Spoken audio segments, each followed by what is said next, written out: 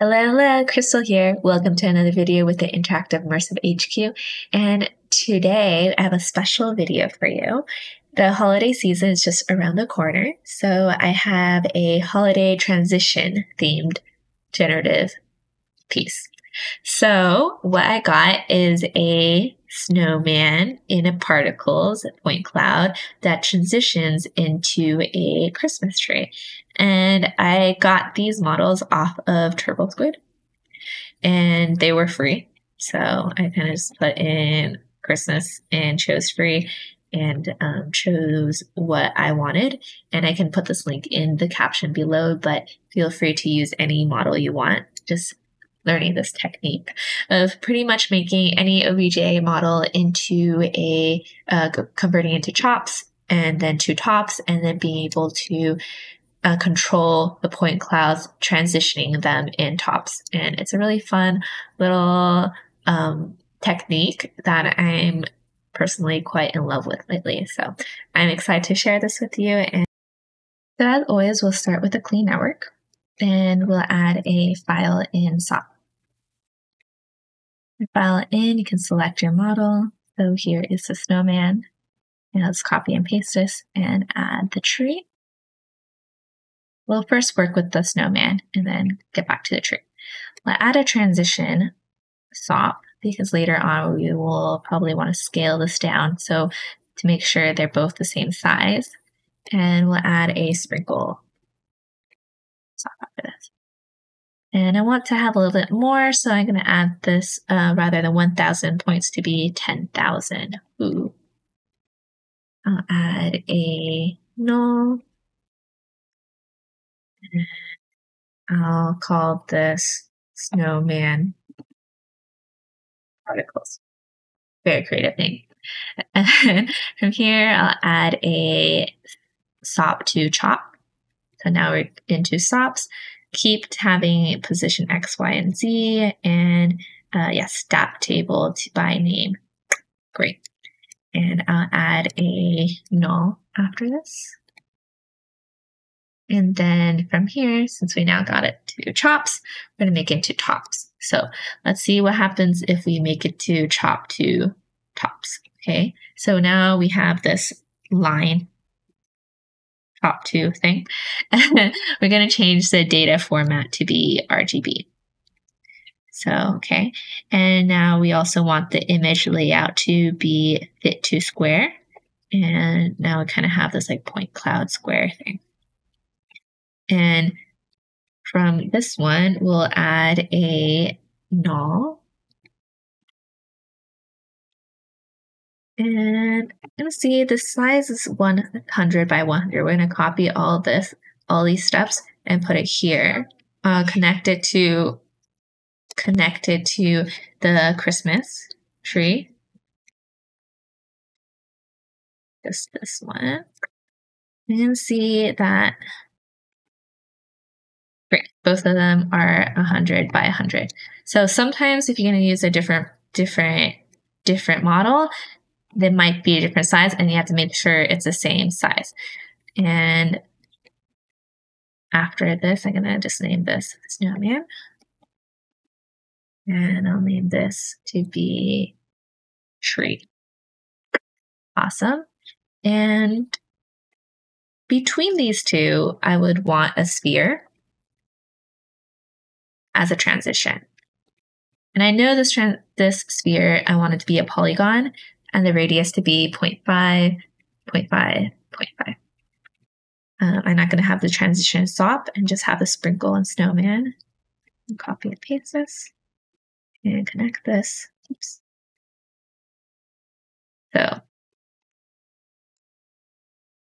just do this one. So I want this snowman to transition to a sphere and then to this Christmas tree. Great. Awesome. Double checking all the size of the point of these are the same. And then I will have a switch top. Select all three of these and then pipe it to the switch and turn blending between inputs on. Add a null after this. And I'll name this particle instance. Awesome. Then I'll add a geometry comp and I'll go into this geometry comp. I'll delete this torus and add a sphere. And I'll make this really small to 0.001. Let's start try with that. Yeah, and make this polygon. Doesn't really matter, but um, I'll make this display and render on. And let's turn on instancing. On instancing, I'll turn this on and I'll make this translate op over here and have it R G B. What do we got? What do we got? Okay, let's see. Let's have a camera. And then also a render top. I'm going to add a null after this and call this out just so we can see what's happening. I don't see it. What's happening? So the camera is being a little bit goofy. So let's put H for home. And let's put a material. So let's put a constant material on this.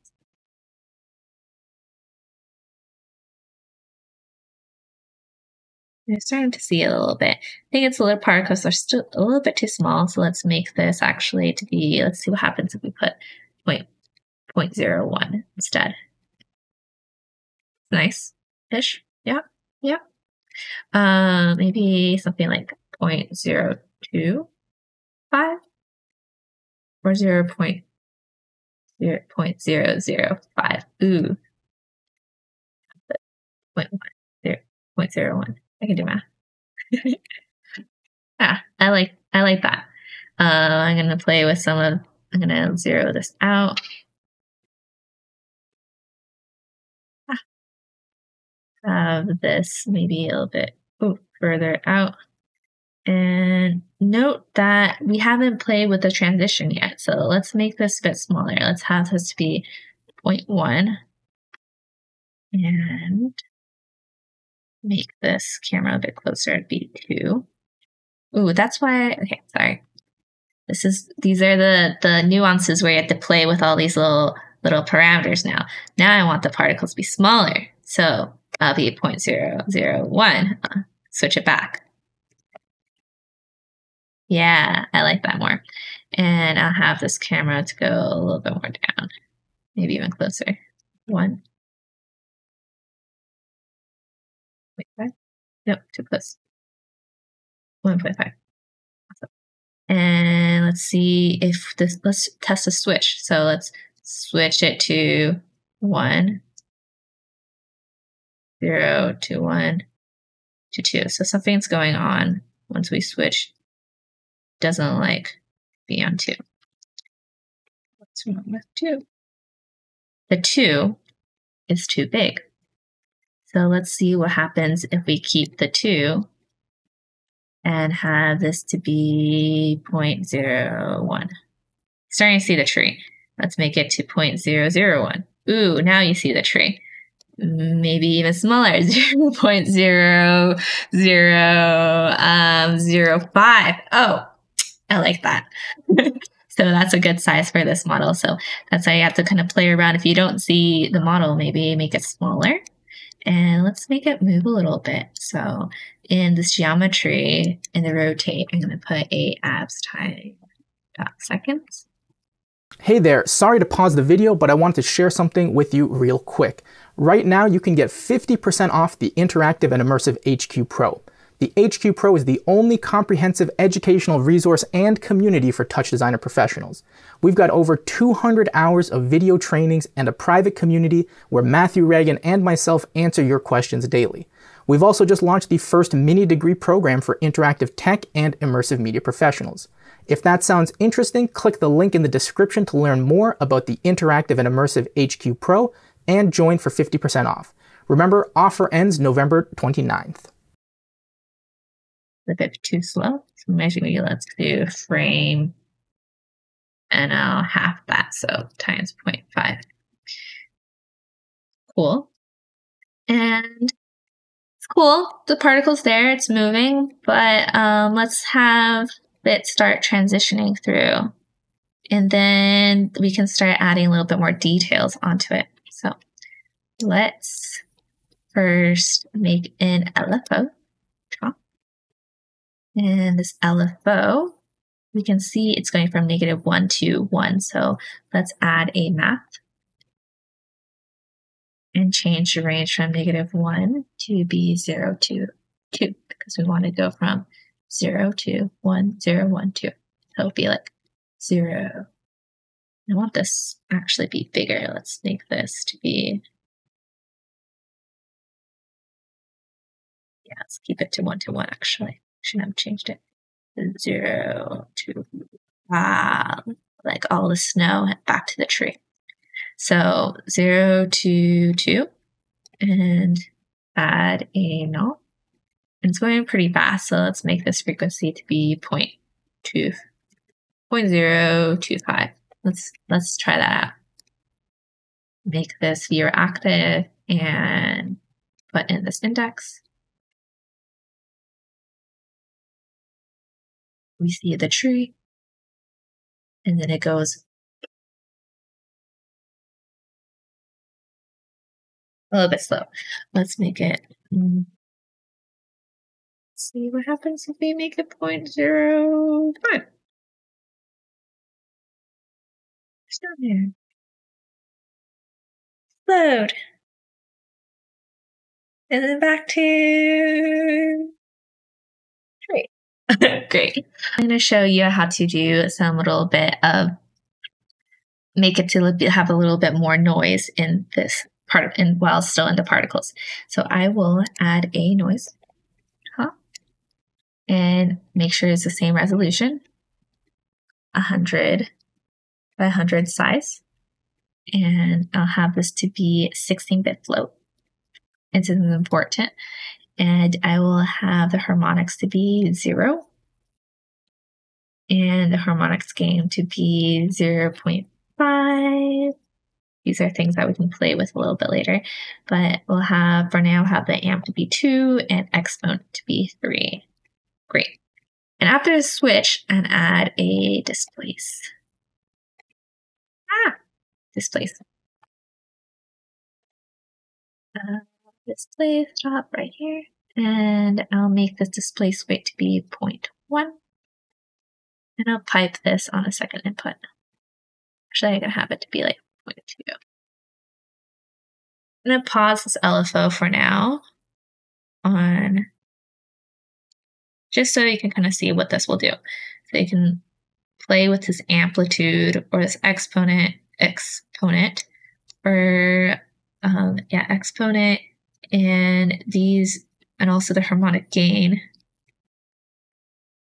Eh, maybe not the harmonic gain, but definitely the amplitude and exponent to make it a little bit more snazzy, noisy, and you can add in other LFO on here to kind of have it constantly going from zero to two if you really want to.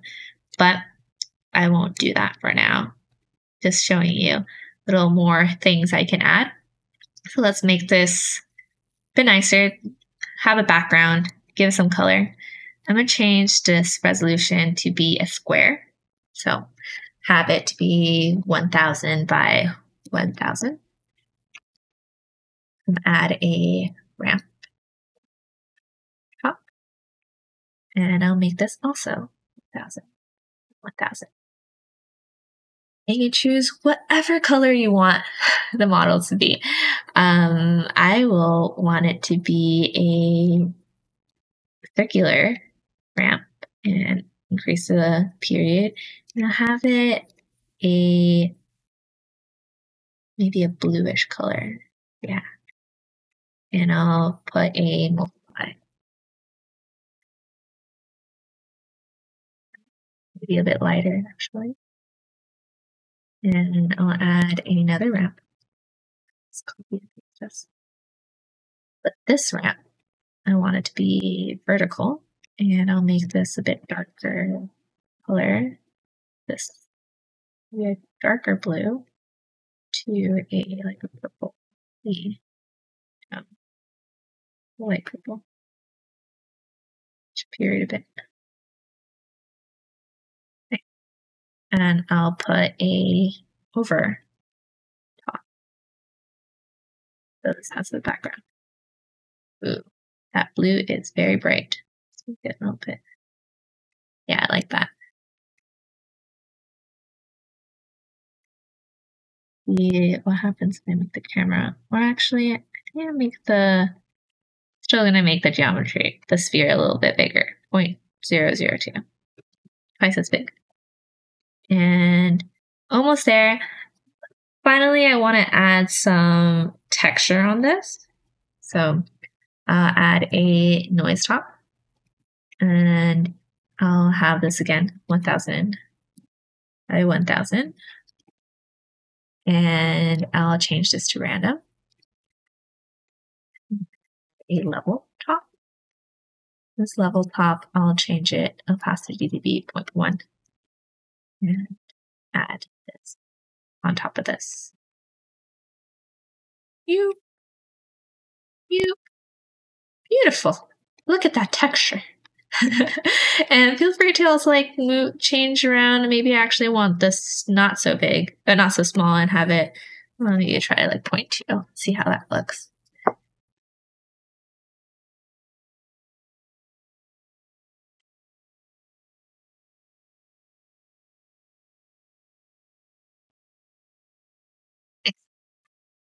And that's pretty much it we made a particle transition. And I hope you enjoy this tutorial. It was really fun making it, and I would love, uh, as always, would love to see what you guys make with this. And use your own different 3D models, and feel free to tag the Interactive Immersive HQ and my own uh, own, own handle, and I'll put all that information in the caption below. Thank you. Hey folks, thanks for watching. As I mentioned earlier, you can get 50% off the Interactive and Immersive HQ Pro right now. The HQ Pro is the only comprehensive educational resource and community for TouchDesigner, immersive design, and creative technology professionals. We've got over 200 hours of video trainings, a private community where Matthew Ragan and myself answer your questions daily, as well as the first professional certification program for TouchDesigner users.